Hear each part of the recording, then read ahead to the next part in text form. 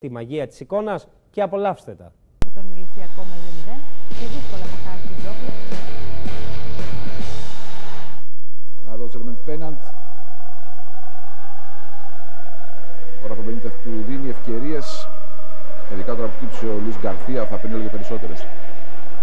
Ο Κράουτς για τον Κάι, το Κάι πέρασε, κάνει το πλασέ γκολ, ένα πλασέ γκολ, ένα 0 στο τέταρτο λεπτό. Το κέντρο άμυνας ε, της Τσέλσι θα νικηθεί πολύ γρήγορα. Εδώ δείτε πού είναι ο Κράουτς αφύλακτος και πώς φύλακτος και πώς ο Πάολο Φερέιρα χάνει την ισορροπία του.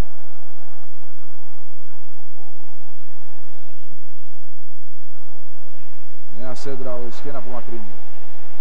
Ο Πέναντ επιχειρεί το σουτ. Φοβερό γκολ από τον Πέναντ. 2 τον Πέναντ. 2-0.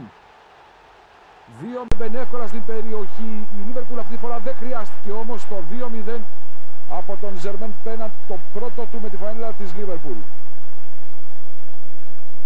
Τσάβι Αλόνσο και ο Τζέραρντ. Και τώρα ο Κάι. Ο Ρίης επιχειρεί το σουτ στο δοκάρι. Τι σουτ ήταν αυτό στο 61ο λεπτό; Ο Κράουτς θα πέσει τελικά να μπλοκάρει ο Τσέχ. Πολύ μεγάλη